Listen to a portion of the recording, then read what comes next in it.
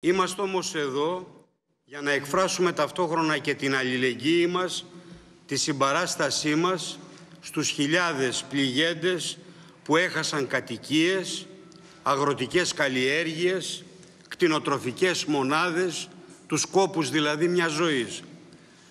Επίσης τους διασώστες, στους πυροσβέστες, αλλά και τους εθελοντές, τον ίδιο το λαό της περιοχής, που με όλες τις δυνάμεις έδωσαν και συνεχίζουν να δίνουν, συνεχίζεται να δίνεται τη μάχη και για τη διάσωση ανθρώπων ακόμα και για την προστασία της ζωής των συνανθρώπων μας και για την προστασία της περιουσίας του λαού μας εδώ στην περιοχή. Θέλουμε να εκφράσουμε και από αυτή εδώ τη σύσκεψη στον Παλαμά την συμπαράστασή μας και τα θερμά συλληπιτήριά μας στις οικογένειες όλων αυτών που έχασαν ανθρώπους. Περιτεύει να πω ότι οι καταστροφές είναι πάρα πολύ μεγάλες. Αυτή την ώρα βέβαια δεν είναι ώρα για πολλά λόγια, γιατί τα λόγια τα ακούμε κυρίως από τους κυβερνώντες, από τα Υπουργεία, τα ακούμε από τις κρατικές αρχές, τα ακούμε και από τις τοπικές αρχές, από δήμους και περιφερειάρχες. Θέλουμε όμως να δούμε πράξεις. Αυτό είναι το κύριο.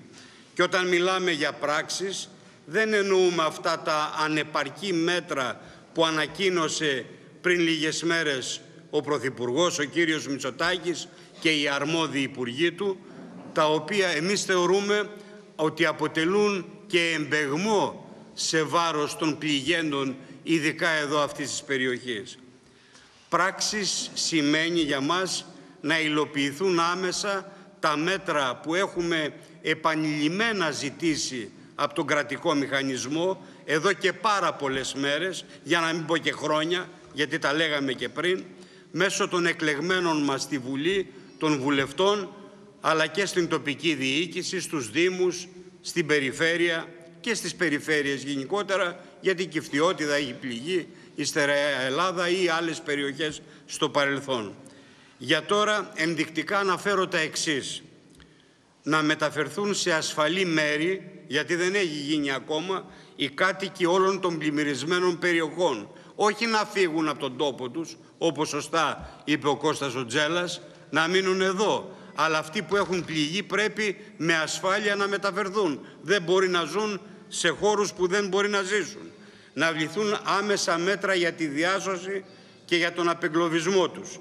Να εξασφαλιστεί η διαμονή, η προσωρινή τουλάχιστον, η διατροφή τους, το νερό τους, η υγειονομική περίθαλψη, η χορήγηση, ό,τι χρειάζεται από κλινοσκεπάσματα ή άλλα.